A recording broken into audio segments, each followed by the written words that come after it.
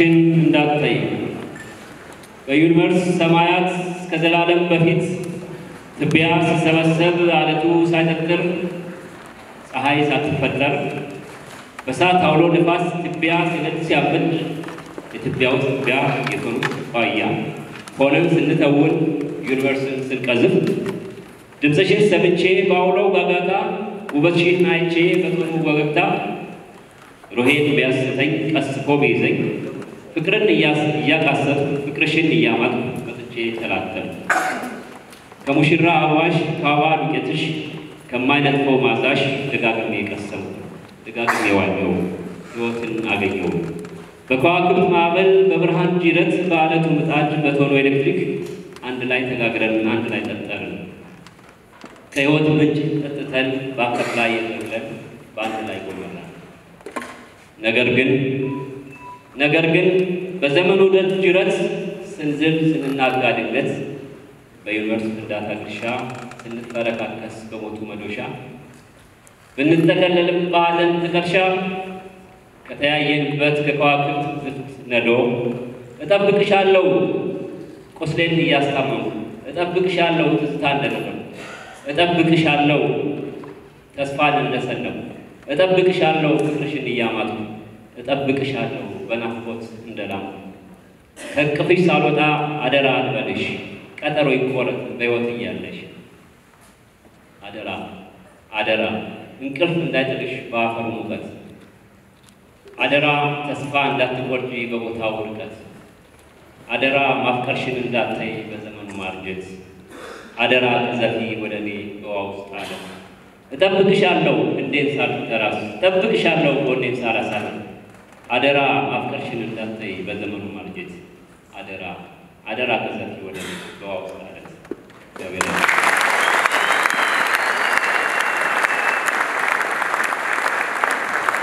አንዴ ከልብ እናመሰግናለን። እንኳን ደስ ያለን ልንለውም እንወዳለን። ሁላችሁም አንዴ በከፍተኛ ሞራል በከፍተኛ ሞራል በኋላ ደግሞ እንግዲህ ያስፈረማችሁ ወደ ውጭ በዘመናት መካከል የተሰኘው መጽሐፍ በዚህ መልኩ ተመርቋል።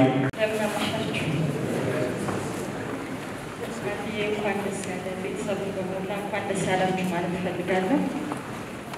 አንድ ግጥም ነው የማቀርበው። ሰሞኑን እንግዲህ ሁላችንም ያፈነከነ አንድ ክስተት ተፈጥሯልና እሱን ካየው ከሰማው በኋላ ለአድራጊዎቹ ይሆን ዘንድ የጻፍኳት መልእክት ነች።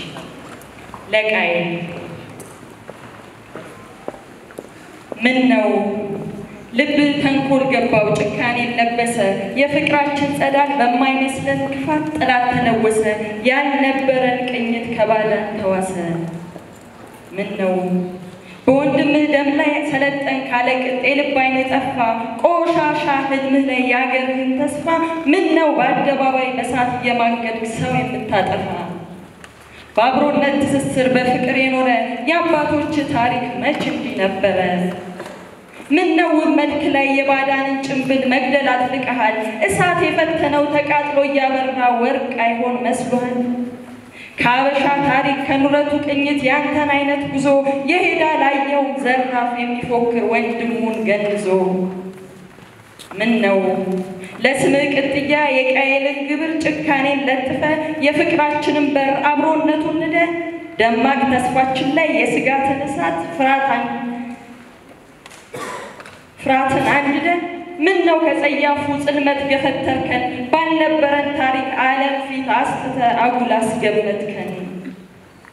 የነጋ ሲመስለን ከወፎች ዝማሬ ቀድመን እንዳነቃ ማልደ ቀሰቀስከን በዋይታችን ድምፅ በደረት ድለቃ የመስከረም ተስፋ የልምላሜ ወቅት የአደይ ውብ ጠረኑን እንግጫና ሶሪት በአንድ እየቋጠርን ሐሴት መጎንጎንን አበባየው ብለን ተሯሩጠን ሳንጠቅ በሳቅ የለያየን ምን ይሉት ስሌት ነው አዲስ ዓመት ማግስት በደም ያበራየን። ቀንተን ሳንነሳ ቀንተን ሳንነሳ ከትላንት ያየለ በሽታ ያመመን ምንድን ነው ነገሩ አትዳኑ ብሎ ማን ነው የረገመን? በጉርብትና ወግ እሳት ተጫጭሮ ዘመናት ያለፈ የኖርንበትነት እኮ እንደምን ሆኖ በጥላቻ ስሌት በደም ተለከፈ። ቃየል በወንድሙ የዋ ልብ ሰልጥኖ ተንኮልን ቢዘራ ንጹሕ ደም እሳት ነው ያጨደው መከራ። የንጋት ወጋገን ከደጃችን ደርሶ ወደ ቤት እንዳይዘልቅ በአንተ ተጋረደ። የጉርብትና ወግ ባጉል መኮፋፈስ ፍቅራችን ታረደ። ሺህ ዓመታት ኗሪው የአንድነቱን ኑረት በሳት እንዲፈተን የወንድም ንጹሕ ደም ያለ ፍርድ ከትቢያ እንደምን ይበተን?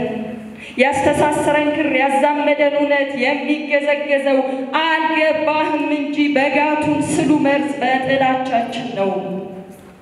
ምን ነው ነሐሴ ጽልመቱን በፀሐይ ሲያጠራ ተፈጥሮ ከውበት እፍ ብላ ስትከን ፍቅር ስትዳራ የኮረዶቹ ድምፅ የአበባየው ዜማ ከንፋሱ አብሮ ውን ሲል አየሩን ደጋግሞ ሲሰማ እንኳን አደረሰን መባባሉን ሳንጠግብ የተሰጠን ተስፋ ዓይናችን እያየ በደም ተለውሶ እንደምን ይደፋ? ለምን?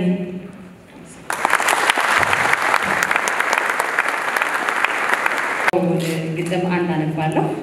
ላልተወለድከው ልጄ ነው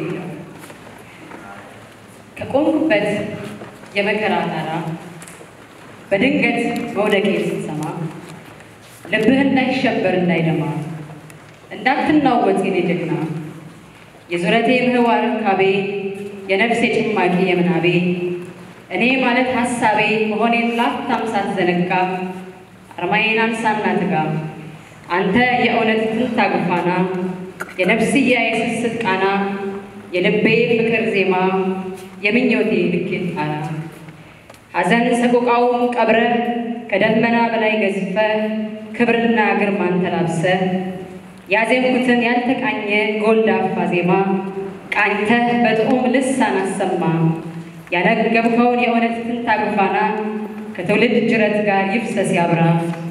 እኔንም የሕይወት ብናኝ ያልተቋጨው የሕይወት ስነኝ ከድርሳን ጋር ደጉሰኝ ጨለማውን ገፈ አኑረኝ ይላል። ሁለተኛው የኔ ነው፣ የልጅነት ግጥሜ ነው። ከአስር ዓመት በፊት የጻፍኩት ግጥም ነው። በጊዜው በእስር የነበረ ጓደኛዬ ከአስር ዓመት በፊት እንዳልኳችሁ እስር ቤት ሆኖ ግጥም ጻፈልኝ። ከመታሰሩ በፊት በኢትዮጵያ ቴሌቪዥን እንግዲህ ዛሬ ላውራው እንደማልታሰር ብዬ በኢትዮጵያ ቴሌቪዥን ይህን ሰው ያየ ወረታውን እከፍላለሁ የሚል ማስታወቂያ ነበር እና ያወራኝ ነበር በስልክ። በኋላ እጁን ሰጠ። እጁን ከሰጠ በኋላ ግን ምናለ መታሰር ካልቀረን የወረታውን በተቀበልኩበት ብዬው ነበር እና ይህ ጋዜጠኛ ወሰንሰገድ ገብረ ኪዳን ይባላል። ከታሰረ በኋላ ደጋግሜ በመጠየቄ የሚጠይቁ ሰዎች በራሱ ይጠየቁ ነበር። ምናልባት ታውቁት እንደሆነ ይታይ ነበር ያ ሰው በተደጋጋሚ ሲመጣ እና እግሬን ሰበሰብኩኝ መሰለኝ የተወሰነ ጊዜ። በኋላ ምን ጻፈ? ባታየኝም አይሻለሁ የሚል ግጥም ጻፈልኝ። ባታየኝም አይሻለሁ፣ ባታየኝም አይሻለሁ ይላል እና ቆንጆ ግጥም ነበር። እኔ ደግሞ ያላየው አይምሰልህ የሚል መልስ ጻፍኩለት። እሱን ነው ማለት ነው። በነገራችን ላይ የግጥም ሳነብ በእውነት ለእኛ ብለው የእኛን አንደበት ይዘው ለታሰሩ ሁሉ ማስታወሻ እንዲሆንም እየተመኘው ነው ማለት ነው። ያጠረህ ጥቅጥቅ አጥር እሾሁ ገላም ቢበጣ መዋያህ እምቅ አየር ማደሪያ ግርግር ጋጣ በረኞች ሲጠብቁ ከማማው ላይ እንደ ቆቅ ያላየው አይምሰልህ አይቼሃለሁ ከሩቅ ጣት ላይ ቀለም ዝጓል ተጣልተሃል ከብዕር በምትኩ ይዘሃል ጥልፍ መርፌ ቱባውን ክር። ያላየው አይምሰልህ ቁጭ ብለህ ከድንጋዩ አንጋጣሃል ወደ ላይ ይከፈት እንደው ሰማዩ። ፀሐይ ወጥታ እስክትገባ ምን ያህል እንደው ሰዓቱ? ጨረቃ እስክትገመስ እስኪቆረስ ሌሊቱ ምን ያህል እንደው ርዝመቱ?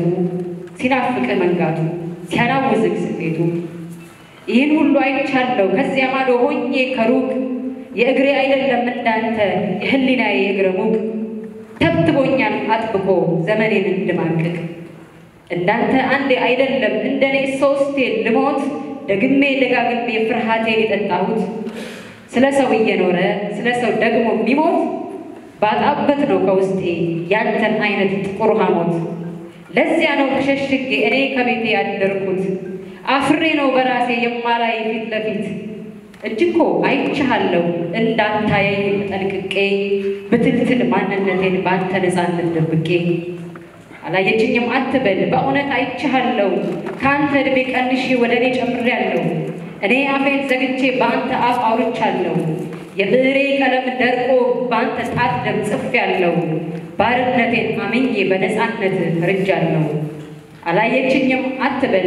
ይልቅ ልንገርህ አንድ እውነት የኔ ሀፍረት የኔ ፍርሃት የኔ ሽንፈት አንተን አይደለም ጓዴ እኔን ነው ያላየሁት ራሴን ነው ያላየሁት